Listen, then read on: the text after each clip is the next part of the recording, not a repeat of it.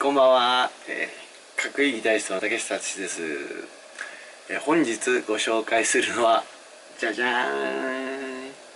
レイ・アルフォンス翔太さんの魂の風景です。はい。えー、こちらねラテンフォルクローレです。ラテンフォルクローレってどんな音楽って思われる方多いと思うんですがちょっと触りを私が聞いてみたいと思います。ラテンフォルクロールはねよく聞いたことがあるパターンだと思うんですが。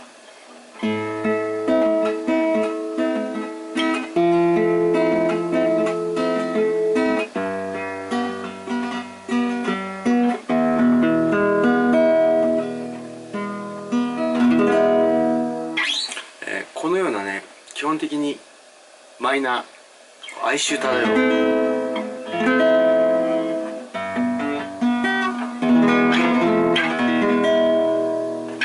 っていうのがラテンフォルクロールです、えー、こういうタイプの音楽。好きでしょ？これの日本で第一人者といったら何と言ってもレイ・アルフォンソ・ショーです、えー、今ねなかなか CD 入手なんだと思うんですが、えー、こちらに出るメールアドレスにご連絡いただければ、えー、お送りいたします、えー、ちなみに私の手元に、えー、利益が上がることはありません。はい。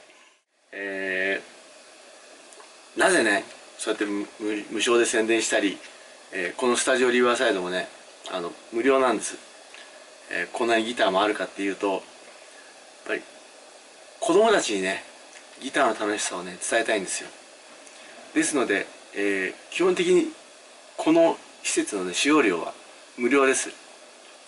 えー、大人は有料ですけどね。あのお子さん、えー、18歳未満、えー、学生さんは無料で、えー、エレキギター何本もありますんで、えー、弾いていただいて結構です。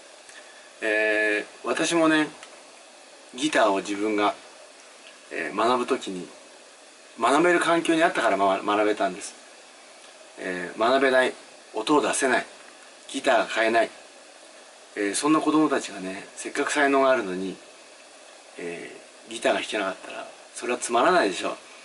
ギターって楽しいから弾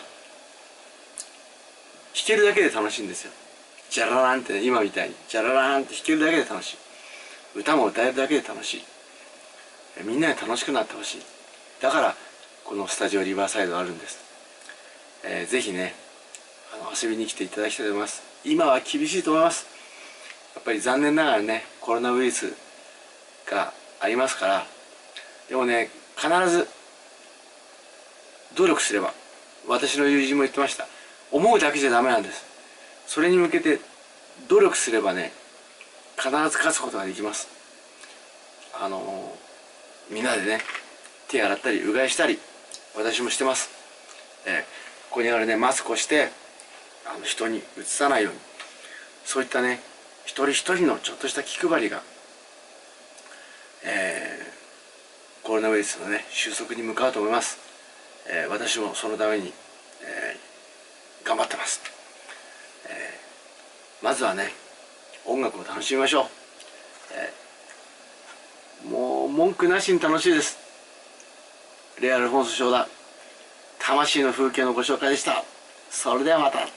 See you soon です。